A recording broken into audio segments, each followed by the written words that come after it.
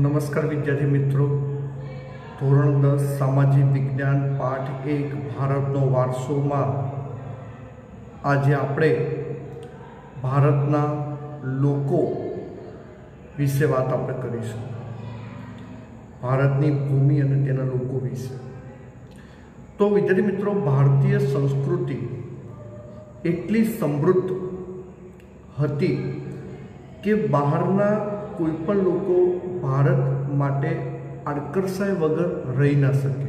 જેમ કોઈ વ્યક્તિ સોનું જુએ, હીરા જુએ, એની કોઈ પ્રિય વસ્તુ જુએ, તો એની તરફ એનું આકર્ષણ થાય.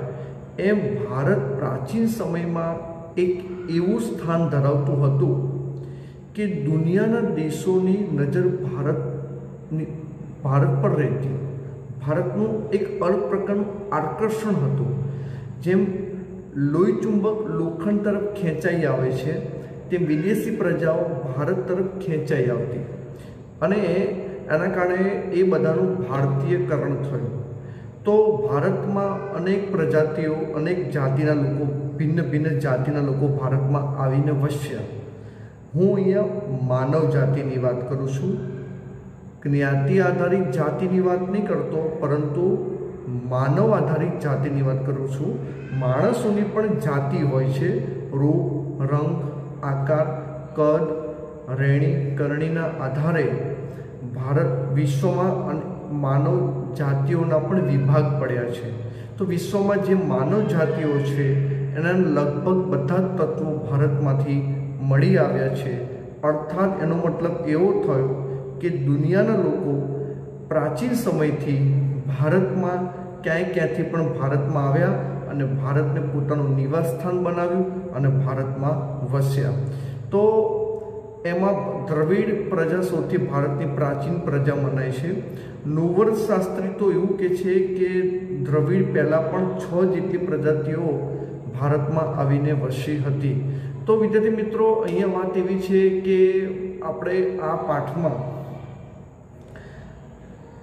જે જાતિઓ જોવાની છે તેના હું નામ કહું છું, એક નેગ્રેટો, બીજું ઓસ્ટ્રેલોઇડ, ત્રીજું દ્રવિડ, ચોથું અન્ય પ્રજામાં આલ્પાઇન ડિનારી અને મોંગ્લોઇડ અને ચોથું આર્યો, સોરી, પાંચમું આર્ય પ્રજા. તો આપણે આ અલગ અલગ જાતિની પ્રજા વિશે આજે આપણે માહિતગાર થવાના છે, અભ્યાસ માટે પણ આઈએમપી છે અને નોલેજ માટે પણ ખૂબ જરૂરી અને મહત્ત્વનો ટૉપિક છે. તો આજે આપણે આ ટૉપિકને પીપીટી દ્વારા આપણે સૌ નિહાળીએ. આપણે હમણાં જે વાત કરી ભારતમાં ભિન્ન ભિન્ન પ્રજાઓમાં આપણે પહેલું જોઈશું નેગ્રેટો. નેગ્રેટોને હબસી પ્રજા પણ કહેવાય છે. વિદ્યાર્થી મિત્રો, ખાસ યાદ રાખજો. નેગ્રેટો અથવા નિગ્રો એ ભારતના સૌથી પ્રાચીન નિવાસીઓ માનવામાં આવે છે. કેટલાક ઇતિહાસકારકોનું માનવું છે કે નિગ્રેટો અથવા કે નિગ્રો, જેને આપણે હબસીઓ પણ કહીએ છીએ, તે આફ્રિકામાંથી બલુચિસ્તાન રસ્તેથી ભારતમાં આવેલા. હવે તેઓનું જે વર્ણ છે તે શ્યામ હતો. તેમની ઊંચાઈ ચારથી પાંચ ફૂટની હતી અને માથે વાકડિયા વાળ ધરાવતા હતા. તો આ ત્રણ મુદ્દા તમારા અભ્યાસ માટે ખૂબ મહત્ત્વના છે આઈએમપી છે. એટલે ખાસ યાદ રાખજો, નિગ્રેટો એટલે કે હફસી પ્રજા, જે ભારતની સૌથી પ્રાચીન નિવાસી પ્રજા કહેવાય છે. અને ક્યાંથી આવ્યા છે? તો આફ્રિકામાંથી બલુચિસ્તાનના રસ્તેથી ભારત આવેલા છે. ખાસ યાદ રાખજો. અને એમનો વર્ણ, તો એ પણ યાદ રાખજો, વર્ણ કેવો છે? તો કે શ્યામ, ચારથી પાંચ ફૂટ ઊંચા અને વાકડિયા વાળ. આ તેમની ઓળખ છે. તો આપણે નિગ્રેટો જાતિ વિશે સમજ્યા.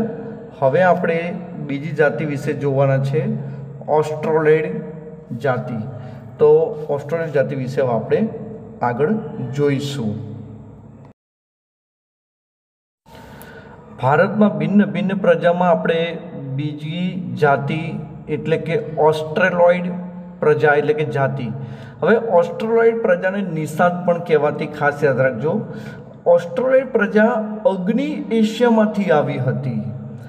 ઓસ્ટ્રોલોઇડ પ્રજાનો રંગ જે છે તે શ્યામ હતો, લાંબુ અને પહોળું, માથું, ટૂંકું, કદ, ચપટું નાક અને તેમની શારીરિક આ બધી વિશેષતાઓ હતી. ભારતમાં આવેલા આર્યો જે ભારતમાં આર્યો પણ પ્રજા આવી હતી, જે આપણે પાછળથી ભણવાના છે એ આર્ય પ્રજા, ઓસ્ટ્રેલિયન પ્રજાને નિષાદ કહીને બોલાવતી. ભીલી પ્રજા માટે નિષાદ શબ્દ પ્રયોજવામાં આવતો હતો. ભારતની કોલ અને મુંડા જાતિ, અસમમાં આવેલી ખાસી પ્રજા, નિકોબાર અને બ્રહ્મદેશની જાતિઓમાં આપણને ઓસ્ટ્રેલિયન પ્રજાના લક્ષણો દેખાઈ આવે છે, અર્થાત કે જોવા મળે છે. ભારતની સંસ્કૃતિ અને સભ્યતાના વિકાસમાં આ પ્રજાનો ફાળો વિશેષ રહ્યો છે. તેઓ માટેના, તેઓ માટીના વાસણો બનાવતા, ખેતી કરવી, સૂત્ર કાપડનું વણાટકામ કરવું વગેરે જેવા કેટલાક કૌશલ્ય માટે જાણીતા હતા. તેઓ પોતાની ધાર્મિક માન્યતાઓ પણ ધરાવતા હતા. તો આ બધું ઓસ્ટ્રેલિયા પ્રજા વિશે પણ ખૂબ આઈએમપી છે. આમાં પહેલું આઈએમપી કે ઓસ્ટ્રેલિયા કઈ પ્રજા તરીકે ઓળખાય છે, નિષાદ પ્રજા તરીકે પણ ઓળખાય છે. બીજું કે આ નિષાદ પ્રજા કોણ કહીને બોલાવતું? તો કે આર્ય પ્રજા તેમને નિષાદ કહીને બોલાવતા હતા. બરાબર? અને એના લક્ષણો ક્યાં જોવા મળે છે? તો ભારતની કોલ અને મુંડા જાતિમાં, અસમની ખાસી પ્રજામાં, નિકોબાર, બ્રહ્મદેશ બ્રહ્મદેશ એટલે આજનું મ્યાનમાર. જાતિમાં ઓસ્ટ્રેલિયા પ્રજાના લક્ષણો જોવા મળે છે. અને તે માટીના વાસણો બનાવવા, ખેતી કરવી સૂત્ર કાપડનું વણાટકામ કરવું વગેરે જેવા તેમના કૌશલ્ય હતા. અને તેઓની પોતાની ધાર્મિક માન્યતાઓ ધરાવતા હતા એ બહુ મોટી વાત છે. તો હવે આ વાતથી ઓસ્ટ્રેલિયા પ્રજાની હવે આપણે વાત કરીશું દ્રવિડ લોકોની. તો હવે આપણે દ્રવિડ વિશે આગળ આપણે જોઈશું.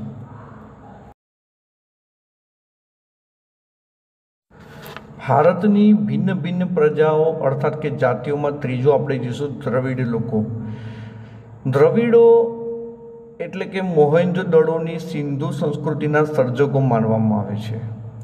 અને પાષાણ યુગની સંસ્કૃતિના સીધા વારસદાર તરીકે તેમને ઓળખવામાં આવે છે. દ્રવિડોએ માતા રૂપે દેવી એટલે કે પાર્વતી, પિતૃરૂપે પરમાત્મા પરમાત્મા એટલે શિવની પૂજાની સમજ આપી.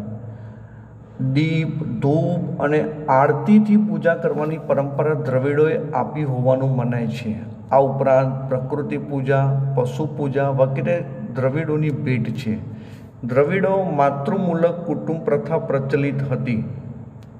તેઓ અવકાશ ગ્રહોના ક્ષેત્રમાં અને વિવિધ કલાઓ જેવી કે કાંતવું, વણવું, રંગવું, હોળી, તરાપા જેવા ક્ષેત્રોમાં તેમનું વિશેષ પ્રદાન જોવા મળે છે. આર્યોનું પ્રભુત્વ બાદ તેઓ દક્ષિણ ભારત તરફ ખસતા ગયા અને ત્યાં સ્થિર થયા. આજે દક્ષિણ ભારતમાં દ્રવિડ કુળની તમિલ, તેલુગુ, કન્નડ અને મલયાલમ જેવી ભાષા બોલતા લોકો વસે છે. પ્રારંભિક તમિલ સાહિત્ય ઉર્મીની અભિવ્યક્તિથી ભરેલું છે. ફરીથી વિદ્યાર્થી મિત્રો, દ્રવિડ આઈએમપી છે. દ્રવિડોને મોહેન્જો, દડોની સિંધુ સંસ્કૃતિના સર્જકો ખાસ યાદ રાખજો. સિંધુ સંસ્કૃતિના સર્જકો માનવામાં આવે છે અને પાષાણ યુગની સંસ્કૃતિના સીધા વારસદાર તરીકે ઓળખવામાં આવે છે. એનો મતલબ એવો થાય છે કે ભારતમાં જે પથ્થર યુગનો માનવી હતો, જે આદિમાનવ હતો, એના જ વારસદાર એટલે ભારતની દ્રવિડ પ્રજા. આથી આપણે ભારતની સૌથી પ્રાચીન પ્રજા કહીએ છીએ, એટલે ભારતની સૌથી જૂની પ્રજા. પરંતુ આર્યો જેવા ભારત પર આવે છે અને ઉત્તરમાં તેઓનું પોતાનું પ્રભુત્વ કાયમ કરે છે. એટલે દ્રવિડ પ્રજા જે છે, એ દક્ષિણ ભારત તરફ વસે છે. ભારતમાં ભિન્ન ભિન્ન પ્રજાઓ અર્થાત કે જાતિઓ, એમાં આપણે ચોથું જોઈશું અન્ય પ્રજાઓ. ભારતમાં મોંગલોઇડ, અલ્પાઇન, ડિનારિક અને આર્મેનોઇડ પ્રજા પણ હતી. એમ આપણે વાત કરીએ એ વિભાગ મોગલોઇડ.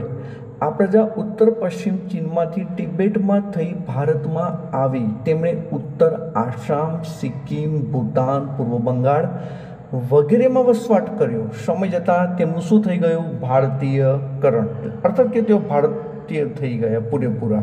આ પ્રજાનો વર્ણ પીળો ચે, પીળો ચહેરો, ચપટો, ઉપસેલા ગાલ અને બદામી આકારની આંખો જેવા શારીરિક લક્ષણો ધરાવતી હતી.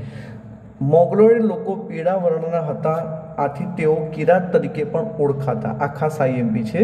અલ્પાઇન બી વિભાગ અલ્પાઇન ડિનારિક અને આર્મેનોઇડ આ પ્રજાઓ કે જે મધ્ય એશિયામાંથી આવેલી પ્રજાઓ છે, આ ત્રણ જાતિઓ એક સમાન ભૌતિક ગુણો ધરાવે છે. આ પ્રજાના અંશો ખાસ કરીને મહારાષ્ટ્ર, બંગાળ, ઓડિશા, ગુજરાત અને સૌરાષ્ટ્રમાં વધુ પ્રમાણમાં જોવા મળે છે.